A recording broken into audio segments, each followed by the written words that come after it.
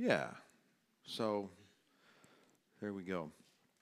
How do you guys appreciate the, the, the bulletins that come out every week?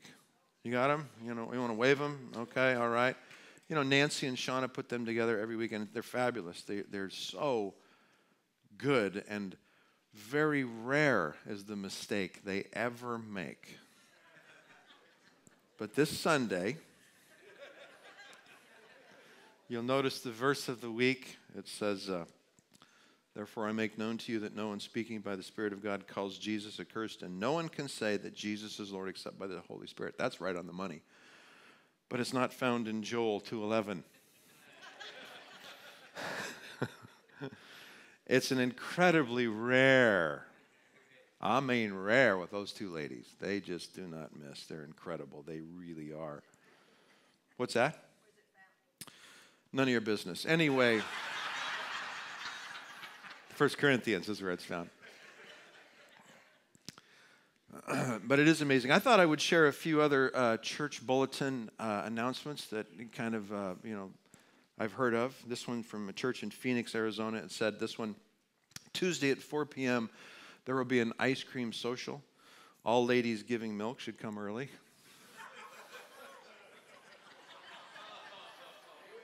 That was actually there. Here's one in Albany, Oregon. For those of you that have children and don't know it, there's a nursery downstairs.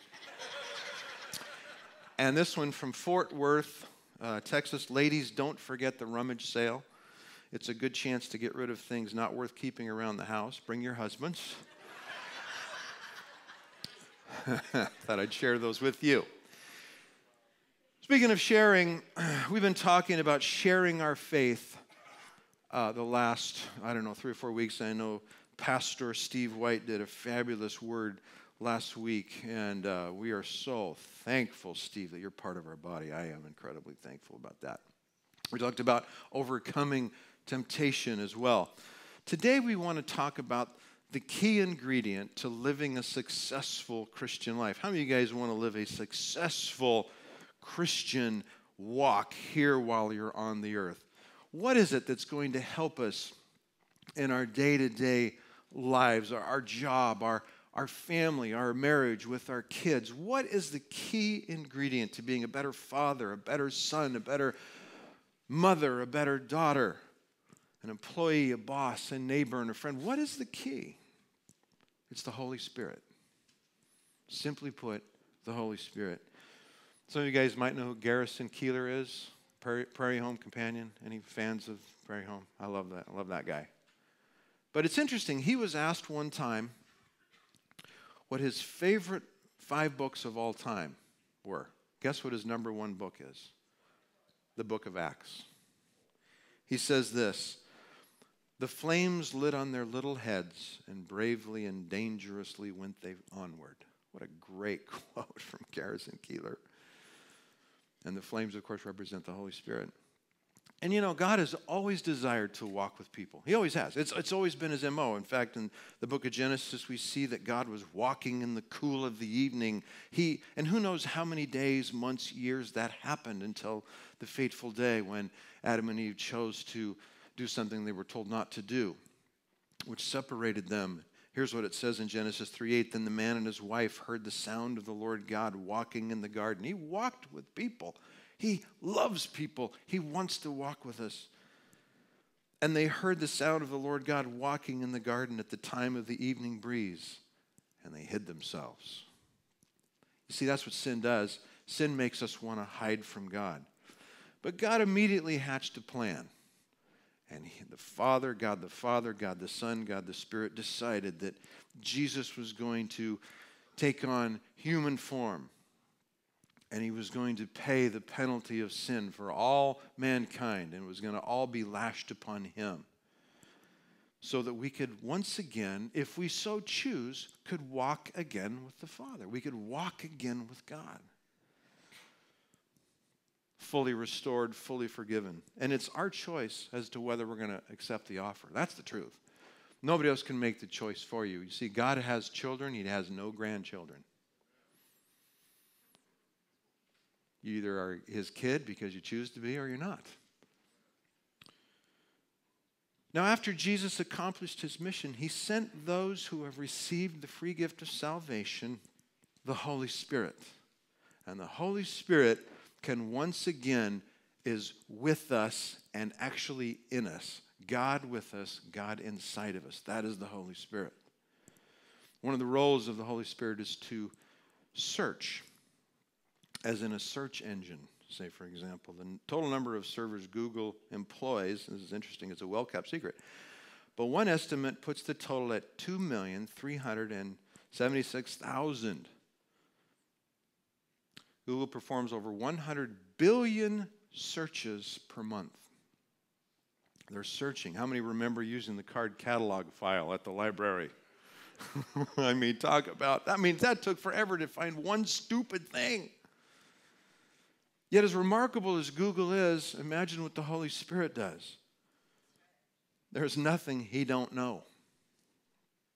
He knows every hair on your head, which for some is easier than others. But He knows everything. He knows every thought, every memory, every subliminal desire, uh, the value of pi to the 10 millionth decimal. He knows it all instantly. You name it, the Holy Spirit, God the Holy Spirit knows it. And He's searching all things all the time. The Holy Spirit is involved in so many areas of our life. One of the things that the Holy Spirit does is He helps us to discern. He's like a burglar alarm. When it goes off, you know somebody has come in your house uninvited. Well, the Holy Spirit sets off a kind of an alarm too. He'll bring illumination to things that are in your life or could be in your life and aren't seen by the naked eye, but He lets us know. He has an alarm system and He finds things. Speaking of that, Nancy and I went to California um, last week. It was great to see my son, Max. He's actually back in town now. But, sorry. Hope that doesn't bug you. I love these dumb things.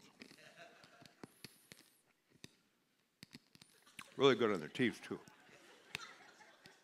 But anyway, so we went through this, the airport security system, and, uh, you know, you got I usually get pre TSA, which is so nice because I don't have to take off anything. I don't take off my shoes or my coat or anything. But this time I got it, and I didn't get it, but Nancy did. Usually it's the other way around. And so, anyway, so I had to go through the whole thing and take off your belt, take off your shoes, you know. And I'm going through, and eh, eh, you know, the alarm goes off, and step over here. I'm sorry, uh, it shows that you have something in this area. You sure you don't have a belt on? Nothing in your pockets? No. Okay, do we want to go behind the curtain? Behind the curtain for what? I got to do a full pat down. Are you serious? I said, just do it here. I was getting annoyed. In Jesus' name, I was getting annoyed. I thought, there's nothing. And so he starts doing the whole, you know, and thought, man, have you ever served time? I mean, I mean, it was like, wow, he was getting really, really close everywhere. He couldn't find it until he found this in my back pocket. This stupid lifesaver package set off the alarm. Hello! That's a warning to you. That's what they found. Can you believe that? I was so blessed.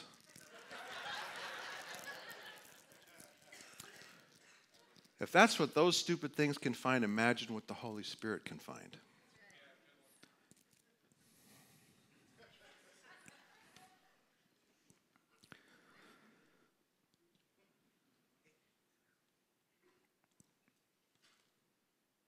Alarms help us know something's not quite right, and the Holy Spirit will help you discern things. He'll set off an alarm. You know, he'll let you, he'll, he'll sometimes he'll just you're, you're facing a decision and you just, everything logically makes sense, but it just doesn't add up. There's just not that peace in your heart. You know, that's an alarm. It's like, or sometimes it'll just be a check in your spirit. You, you know what I'm talking about? There'll be some kind of a hello, no, don't do that. Don't go over there. Don't sign that paper.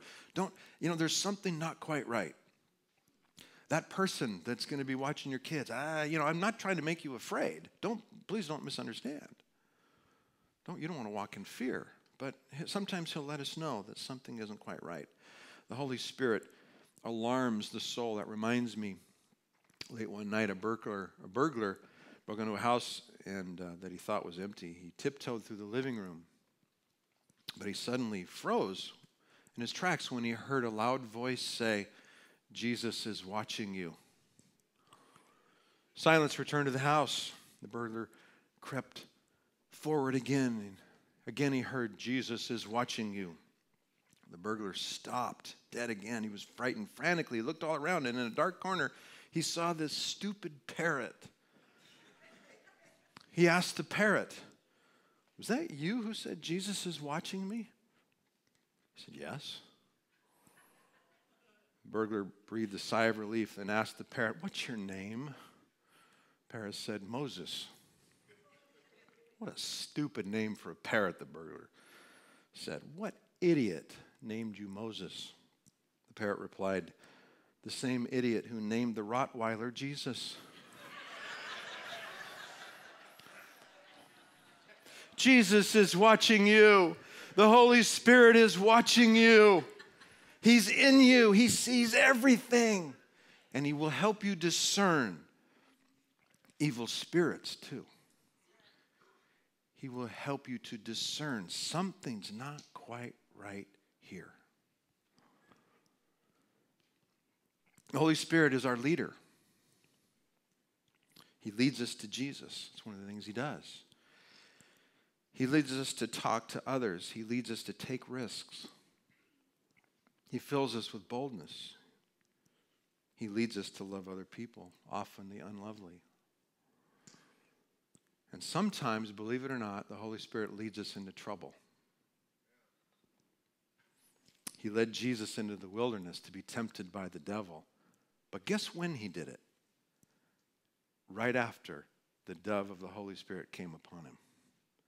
You don't want to face temptation and trouble without the Holy Spirit.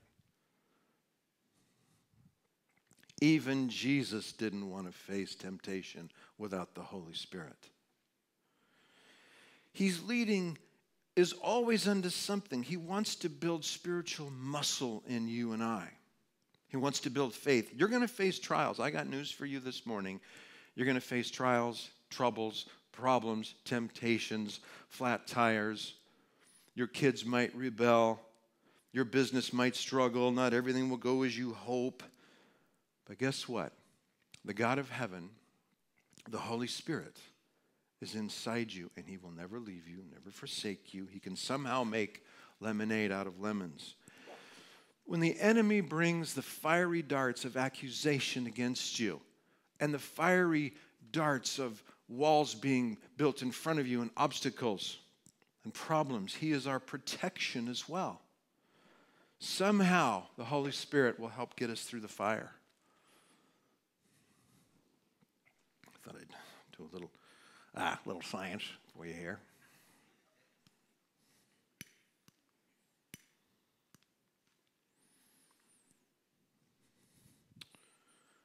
So, in and of ourselves, let's just say this is us. Let's just say this is you.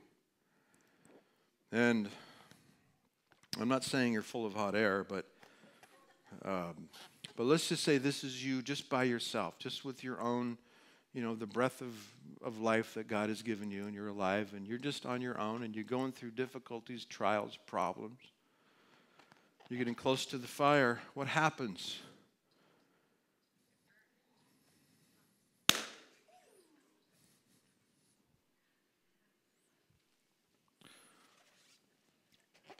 But this is you again, full of hot air, but you also have the water of the Holy Spirit.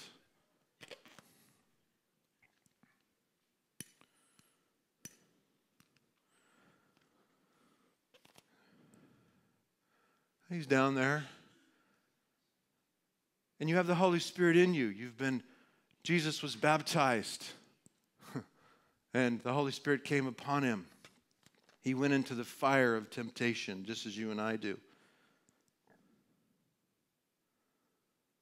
Huh. Huh. How about that? Doesn't matter how long you're doing it. Let's just change the angle. Huh. Now, life's going to leave a mark on you. Come on. You're going to go through difficulties and there's going to be a mark left on you, but guess what? Jesus is with you in the fire. The Holy Spirit is with you in the fire. Little science lesson today. There you go.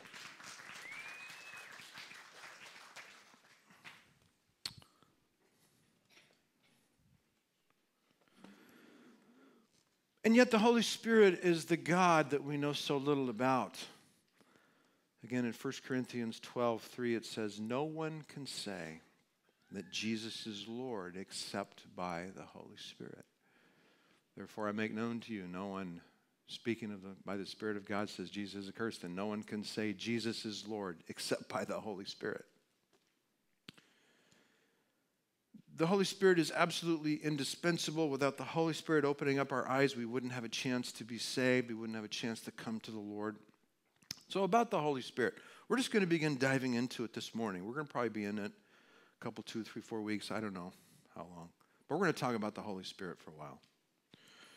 First of all, about the Holy Spirit, He is my helper. He's my helper. Now, some people are very uncomfortable hearing too much about the Holy Spirit. And I get it. And if you are uncomfortable hearing too much about the Holy Spirit, you're not alone. You know, the disciples didn't really like hearing about the Holy Spirit. Did you know that? It made them uneasy. You see, they had walked with Jesus for three years and they were just starting to figure him out. They just kind of started, they knew his voice, they knew what he looked like, they knew what kind of food he liked, they knew, you know, they'd seen his miracles. He actually gave them the power to do miracles, signs, wonders. He, he'd been, they'd been walking with him. They finally got to know him. In fact, right before he was about to be crucified, they finally came to the realization now we know you're who you say you are. And Jesus says, Now you know?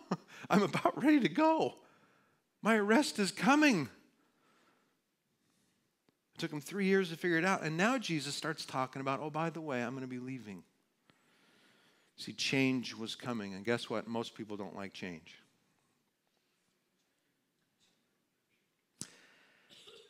See, they figured that Jesus was the long awaited for Messiah that would finally remove the Romans from ruling over them. That's the Messiah that many of them were looking for. In fact, many believe that's why Judas betrayed Jesus. He finally figured it out. Oh, you're not going to overthrow the Roman government over us. Well, I might as well make some shekels off of you. But Jesus knew they were really getting nervous about his um, leaving them. And so he said to them in John 16, 7, and we should have it on the PowerPoint, Jesus says, But I tell you the truth, it is to your advantage that I go away. You see, if I do not go away, the Helper shall not come to you. But if I go, I'm going to send him to you. All you have to do is compare what the disciples were like when Jesus was still alive versus the, what the disciples were like after the Holy Spirit came on them.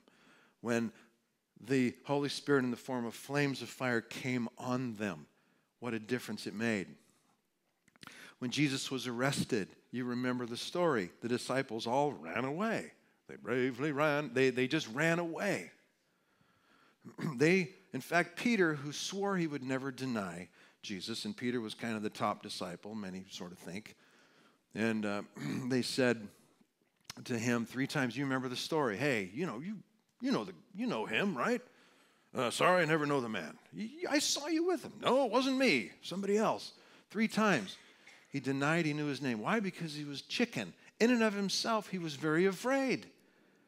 You know, that's what he was. But guess what happened after the Holy Spirit came upon them? They became bold as lions and 11 of the 12 of the disciples were martyred willingly, happily. In fact, Peter was so moved and so full of fire because the Holy Spirit had come upon him. He got crucified, and when he did, they say that he got, he went, um, he actually says, I'm not worthy to be crucified the same way Jesus was. Crucify me upside down. He didn't run away. They faced jail time. They were beaten. They were tortured. I'm not bending the knee. My Lord Jesus is King, and it was the Holy Spirit that gave him the fire to do it. And it was the Holy Spirit that had them go, and their handkerchiefs would heal people. I mean, great miracles happened. See, the Holy Spirit is our helper, but guess what? The Holy Spirit is my helper. Jesus goes on in John 14, 16, and 17. He says, And I will ask the Father, and he will give you another helper, that he may be with you forever. That is the Spirit of truth, who the world cannot receive. Aha. You don't get the Holy Spirit without having Jesus, because it does not behold him or know him, but you, you know him because he abides with you, and oh, by the way, will be in you. The Holy Spirit is with you, and he's also with you. When we say that we are the temple of the living God, what we really say is that the Holy Spirit of God lives inside of us. That's what really what we're saying. Now, the word another helper actually means one just like Jesus. What he was saying was, I'm going to send you another just like me. The same likeness, the same kind of thing he does, the same nature, same authority, but another one. Able to actually live inside of people we are now the temples of God. Inside each person who has received the cleansing power of Jesus. Now, the word helper comes to us from the word paraclete, parakletos, which means to come alongside. It means to be a counselor. He is our counselor, He is our advocate, He is our intercessor, He's our comforter, He's all those things and more. But that's what He means. And the Holy Spirit is fully able to uh, lead us in a direction we need to go. He is our ever present helper. How many of you guys think that's pretty cool that God Himself has been assigned to live inside of you to help you, to come alongside you, to comfort you, to actually intercede for you? He's my helper, He's your helper. Secondly, we need to know, and a lot of people forget, the Holy Spirit isn't weird. He isn't a kook. How many of you have been in a church service or heard of church services that people get really weird? You know, they, you know, shout and dance and jump a pew, you know, you know, they're rolling around, they're barking like dogs, they're, you know, clucking like chickens, whatever they're doing, you know. Well, I'm not going to say what those, what that is, but it's weird to me. And you know, sometimes people are just weird. Sometimes the Holy Spirit touches them and the flesh kind of gets in the way and they get a little weird. Now, they say that one in three people are weird. I want you to look to your left and your right. And if they ain't weird, guess who is? That's what I say.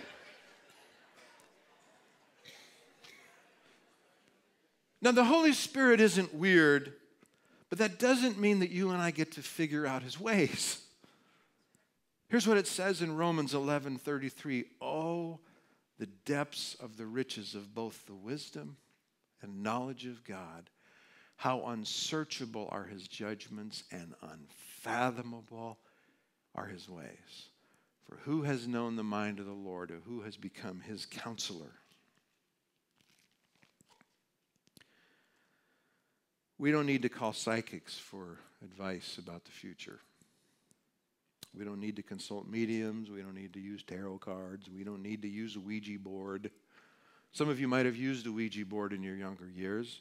Did you know they're making a comeback? These stupid Ouija boards are being sold again, and I guess in, in great numbers. It's just shocking to me.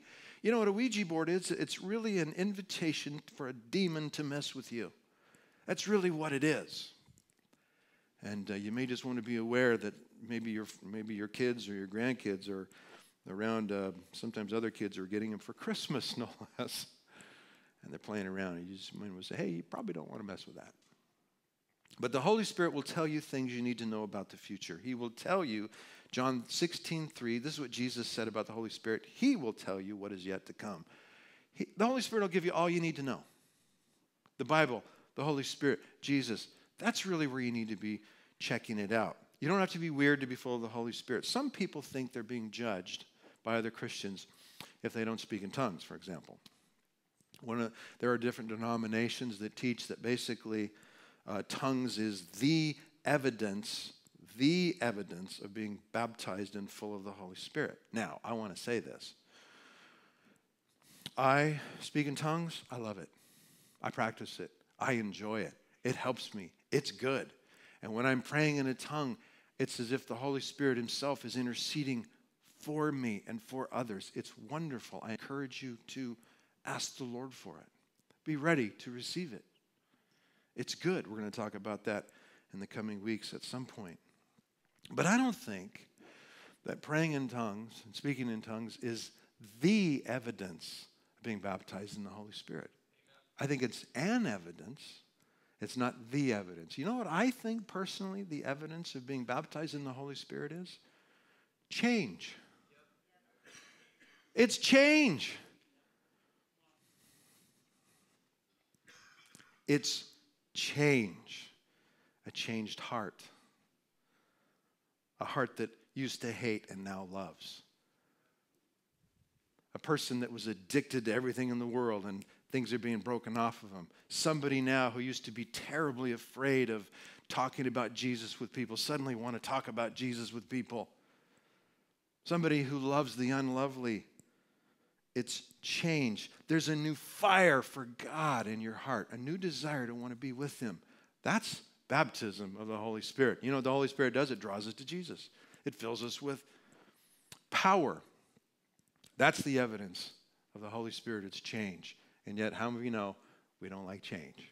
And so sometimes we're nervous about the Holy Spirit because He asks us to change, and He's going to change us. We want to see the lost get saved. Again, the disciples are proof of that. When the Holy Spirit came upon them, their lives were radically changed. Actually, the Holy Spirit is your best friend while you're here on the earth. He's not here to make you weird. He's not here to make you all mystical and spooky. You know, spooky. He's not, he doesn't want to make you a kook. He doesn't want to do that. He doesn't want to make you hyper spiritual. You know any hyper spiritual people? Oh, there's a demon under every rock and there's an angel under every, un, swinging on every pole. I mean, you know, just, I don't know what it is. They're just, hey, come on. Come on, man. The Holy Spirit, here's what He does. If you're full of Him, you're not going to be full of hot air. You're going to be full of humility. He's going to make you approachable.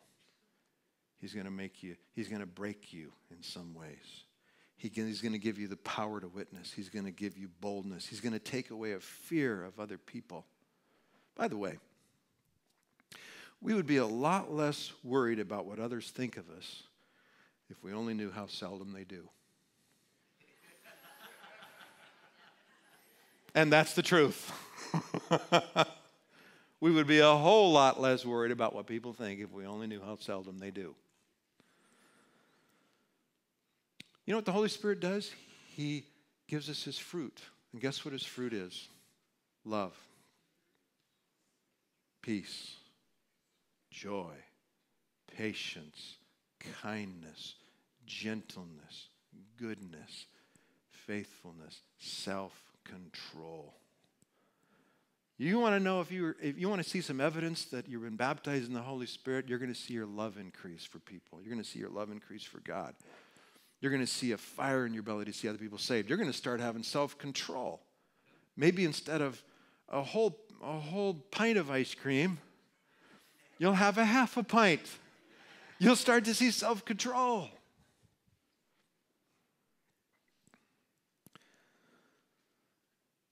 And he also gives good gifts. Prophecy, what a great gift that can be. Tongues, interpretation of tongues, different kinds of healings, administrations, all sorts of things. Faith, miracles, signs, wonders. He's not weird, but he does change you.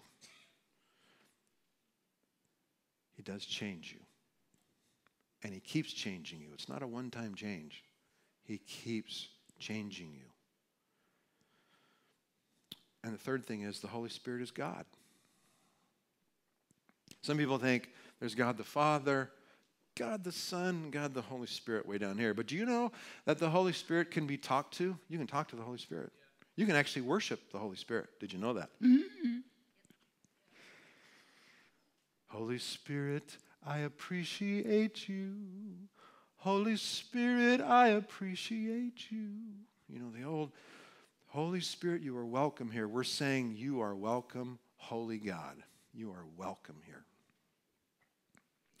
And you know, with the Godhead, Father, Son, and Holy Spirit, the Trinity, which is a wonderful thing, and I can't explain it because I don't fully get it myself. They're the same nature, they're the same authority, all that, but they're just they're three separate and yet totally joined together. But you know, it's interesting about the Holy Holy Spirit, the Father, Son, Holy Spirit. There's no rivalry there. You know, there's no jealousy between them. It isn't like the Father saying, You're talking too much about my son. What about me? What about my time? Jesus isn't saying, yeah, I don't know about all this Holy Spirit talk. Let's start focusing on me a little. Do you know what I did? Do you know what I came to do? It isn't like that. Jesus, I love you. The Father and the Holy Spirit are going, Yes. Father, I love you. Jesus and the Holy Spirit, Yes. Holy Spirit, I welcome you. I love you. The Father and the Son are going, Go for it. The Father, Son, and Holy Spirit God. And you know, the Holy Spirit was involved in creation, as was Jesus, it says in Colossians. But in Genesis 1 2, and the Spirit of God was hovering over the face of the waters. Genesis 1 26, then God said, Let us make man in our image, according to our likeness. Let them rule. Then John 14 23, Jesus says something very sim- similar. He says, If anybody loves me, he will keep my word, and my Father will love him, and we will come to him and make our abode with him. He's not talking about angels. Jesus is talking about the Father, Son, and Holy Spirit. The Holy Spirit is eternal. How much more then will the blood of Christ, who through the eternal Spirit offered himself unblemished to God, cleanse our conscience from acts that lead to death so that we may serve the living God? The Holy Spirit, through people, wrote the Bible. Did you know that? says in 2 Timothy 3:16, all scripture is God breathed and is useful for teaching, rebuking, correcting, and training in righteousness. 1 Peter 1:20 goes a little farther and it says it this way. No prophecy of scripture is of any private interpretation, but men of God spoke as they were moved by the Holy Spirit. The Holy Spirit breathed the word into existence. And as God, the Holy Spirit leads us too. Rarely does he speak with an audible voice, but you can learn to hear him. You know, even animals can hear him. Uh, I can hear, uh, hear us anyway. They can discern uh, the voices of their, uh, their owners or whatever. We know elephants can do that. you know, I think I told you one time about our cat, Gus. Um, and, I, and, and my cats are fine. I mean, we're, we had three, and now we're down to two, and it's getting better all the time. it really is. But we, uh, no, but I like our two cats. They're they're nice, and uh, that that we have. And uh, but Gus is the most mellow cat in the history of catdom. I mean, he anybody can pick him up. He doesn't ever do anything. You can play with his paws. He doesn't ever do anything. You just you can pull his tail. He doesn't do anything. You pat him on the head. He's really a good cat. I'm not saying you should do those things. I'm just saying he puts up with it and he, he's fine. He's just there. He's just a big walking carpet, I guess. And we do like him. He's very gentle. He's very good. But one time, uh, you know, one morning we noticed Gus didn't show up for his, you know, breakfast, and hmm, that's weird. You know, wasn't he, he didn't come all afternoon, didn't come all evening, and then the next day he wasn't there. I think a couple days were going by. Oh man, what happened? Maybe he got eaten up by a coyote or a raccoon or something. But so finally, Rachel said, "We need to go to the uh, Humane Society." Okay, so I didn't go, but Nancy went.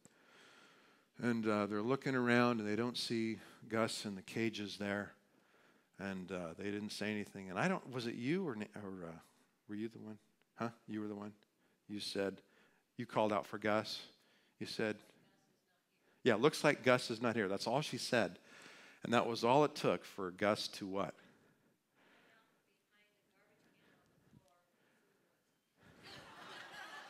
He had somehow gotten out of the cage.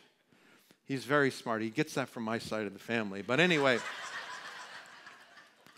somehow he, he'd escaped. And, um, and as soon as he heard her voice, out he came. And uh, the, uh, that's all she had to say. You know, I guess Gus isn't here. And all of a sudden, you know, and he walks over, and the, and the worker said, oh, Don't be too sure. You know, it's just, you know, no. And then she. she grabbed him. No, I'll find out in a second. Pulled open his legs. That's Gus. Somehow she knew all the scratch or whatever, he was there. The point is, pets know their master's voice. You can know the master's voice, and it's the Holy Spirit who breathes it into you. And he doesn't say anything on his own initiative. He hears from Jesus, who hears from the Father and He speaks it into your life. Holy Spirit is God with you, Rob, and He's God in you. He's the Holy Spirit of God in you and with you. He's in you and He's with you, and He loves you, and He's guiding you. And He's guiding you to Jesus, and He's also guiding you to have success in this life. Not success as the world says it necessarily, but as He says it. The Holy Spirit often says yes, by the way, but sometimes He says no. Acts 16, 1 and 2. Paul and his companions traveled through the region of Phrygia, I don't even know how to say that, in Galatia, having been kept by the Holy Spirit from preaching the word in the province of Asia. When they came to the border of Mysia, they tried to enter Bithynia, all fun names. But the Spirit of Jesus would not allow them to go. That's weird. They wanted to go minister in Asia. The Holy Spirit said no. They wanted to go to another place. The Holy Spirit said no. The Holy Spirit would not allow them to go. So they passed on and went somewhere else. I don't know about this whole building thing, but I'll tell you this. I think the Holy Spirit kind of is whispering, I, I, I feel like He is, keep knocking. Keep knocking. Keep going. Whether it's this or something else. I think it's this, but if it's not, I hope you keep giving. I hope you keep going. I hope you keep at it. You know, it just sometimes uh, things don't always happen in our time frame, but we got to. I think we're just going to keep. We're going to keep plugging. We're going to keep knocking. Ask, and the door will be open opening. You knock. You know, uh, keep knocking. Keep seeking. Keep asking whatever it is that's going on in your life, and keep hearing the Lord talk to you because He loves you and He cares for you. And the Holy Spirit is with you. Heavenly Father, thanks for loving us. Thanks for being so good to us. Thanks for being our protector. Thanks for being inside of us. Helps, thank you for helping us get through the fire. Thanks for being our helper, our guide. Thanks for being God in us. And thanks for continually changing us to be the people you've called us to be. In Jesus' name, amen. God bless. And you're out three minutes early, and the whole church said, Amen. Yes.